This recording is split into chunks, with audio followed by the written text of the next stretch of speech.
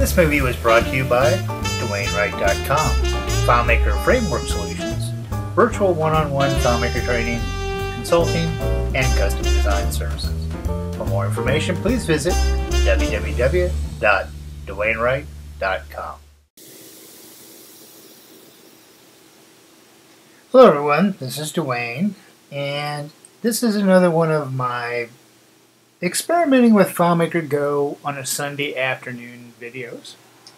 And this one entails a need that I saw to tag a record on how it was created in regards to was it created with a desktop Mac or Windows machine, or was it created with FileMaker Go on an iPad, or was it created with FileMaker Pro with the iPhone, iPod Touch? And the uh, variation on that was it in, edited in one of those other environments. And part of this has got to do with an underlying idea or impression, if you will, that there will be times where you'll have a local copy of the database on your mobile device and you'll have to interact with it because you cannot connect to the shared version. And then at some point there'll be a syncing process. And I can only imagine knowing how the record was created or edited, if that was in true done on the mobile device, when you do the syncing, it would pay benefits going back and forth. So, and it turned out to be a little bit of a different journey than what I thought it would be. The created by was fairly easy. But so this series of videos, I'm going to show you the desktop version and then show you you know how it looked on the iPad and on the iPhone using FileMaker Go. So I'm also going a bit low budget, uh, like I do everything I guess. So the camera work is now going to be highly professional as I just use my camera to look at the screens of the iPad and iPhone and I hope you bear with me on these presentations. So this is kind of my rig. I have the iPhone in front of the iPad, which is in front of my iMac. I know it sounds kind of funny after it comes out of my mouth that way, but it is a pretty good testing platform. I can make changes on my iMac and immediately see the updates in both of the mobile devices. So that's how we're going to go ahead and work going back and forth, and I'll try to zoom in on the mobile devices as I want to illustrate the changes that were made. So what I wanted to do, and you can see I've made this video a few times, is to have a background tab that, amongst other data, would know what uh, platform I'd used to create a record and what platform was the last one that had edited that record. And so if we go back, you can see oh, we've, we've had a couple of different changes um, as the data goes back and forth. So the very first one, if we take a look underneath the hood, was this Z created system platform and the Z modified system platform. The created system platform is an auto enter field. So if we bring that up, so auto entered via calculated value. And if we take a look at it, what I've done is to use the get system platform function and then wrap that inside of an absolute function so that I get just the positive number that goes across. And then go ahead and define that a little further to try to find out if it was FileMaker Go on the iPhone or iPad. So I've written a couple articles on this, and uh, the FileMaker Help actually does a pretty good job of telling you, you know, which Windows operating systems return either a positive or negative 2. You can break it down to that level. And the same thing with the Macintosh. A lot of them have to do with different OS changes. Uh, for our purposes, we really just want to know Mac or Windows. So that's, again, if we use the Get System platform, if it returns a 2 or a negative 2, all we really care is about the 2 value. So that's why we use the absolute function to wrap it.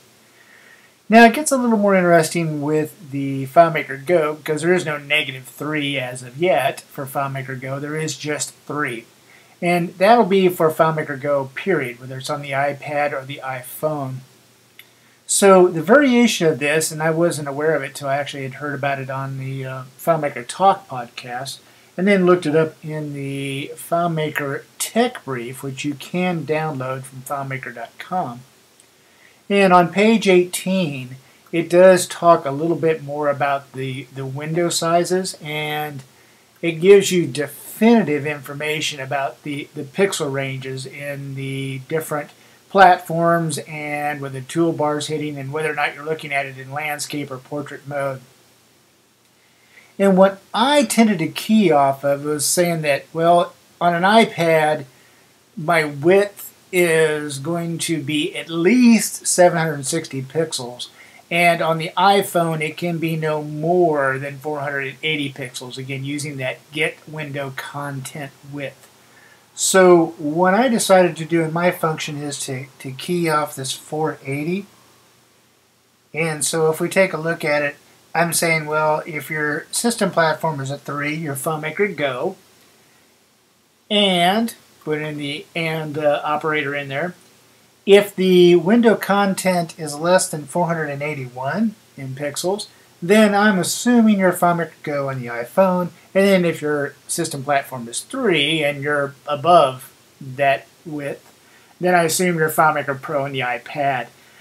I don't know if FileMaker Go will make it to other platforms or how other platforms are going to evolve with the Android doing so well on the mobile phone and uh, inevitably going to come out in the, the tablet. That's just something we'll have to keep an eye on. So anyway, that automatically creates as we do new records.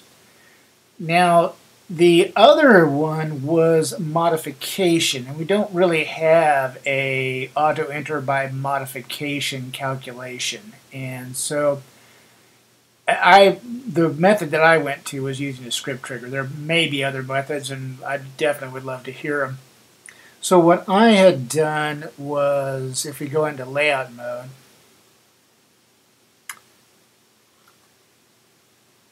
And then we go into layout setup and go into script triggers. You can see that I've used an on record commit. So that means, you know, you've changed the record. That's a modification. And I'm running this script called modified data capture. So let's go ahead and take a, a, a deeper look at that. Here we are in our script list and we'll use our edit button to drill right down to that script. It is a single step script. It's a set field by name. And I'd have to admit this is one of the few times I've actually used this new um, script step. I usually just use set field.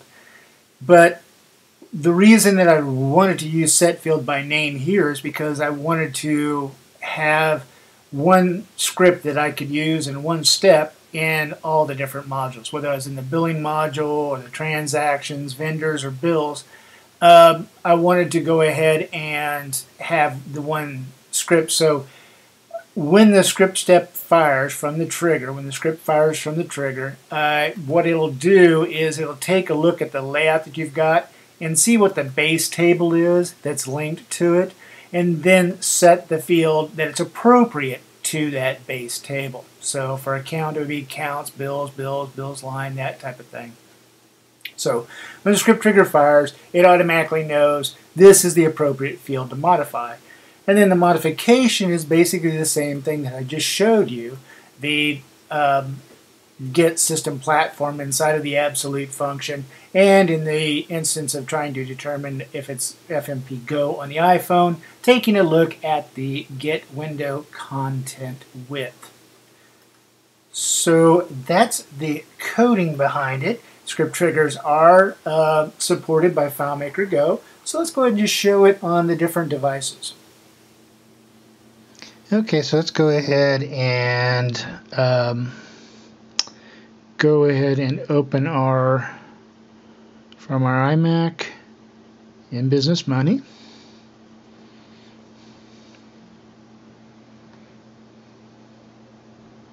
Mm, that looks a little more centered. And we'll go ahead and open up our accounts file. And then we'll check in our background information.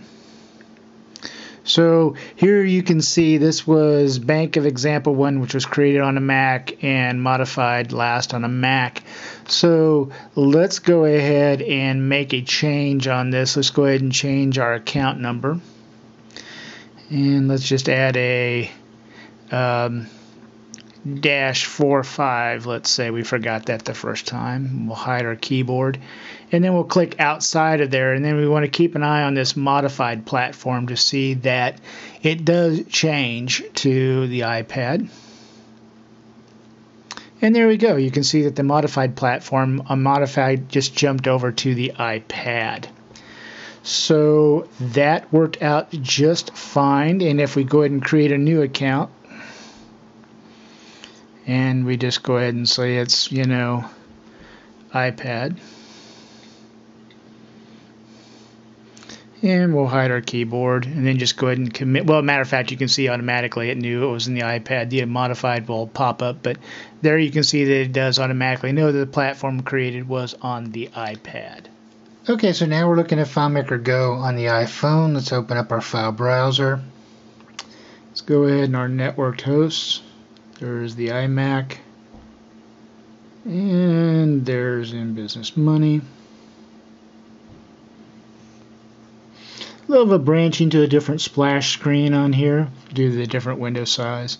And then when it comes up to the accounts module, you'll see that we do have, you know, again, a different layout, doesn't have nearly as much. And the portals, I don't know if that's going to stay or not. I've, I've had mixed success working with portals on the uh, screen as small as the iPhone. But so what we can do here's bank of example one. That was the one that we had used originally. It's the very first record. So we'll just go ahead and click into the bank of example one. Actually let's go ahead and make that bank of example two.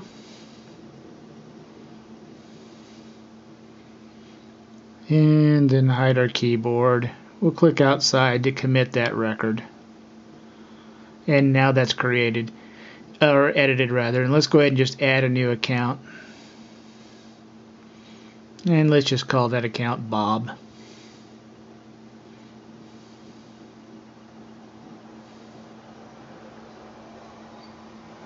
Okay, so now Bob is saved. Let's go ahead and just go to a different record just in case.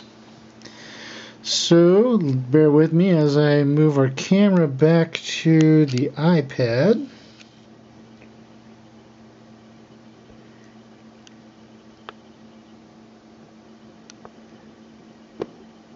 And uh, that looks like it might work. So um, down here we can see that there is yet, let's go ahead and back that out a little bit further. And maybe just a little bit more. And take our iPhone down. So now you can kind of see, again I apologize for that. So now you can kind of see that we do have another record that was added. So let's just go to it. And in the corner you can see that it was created and modified by the iPhone. So then we'll go ahead and go to our very first record.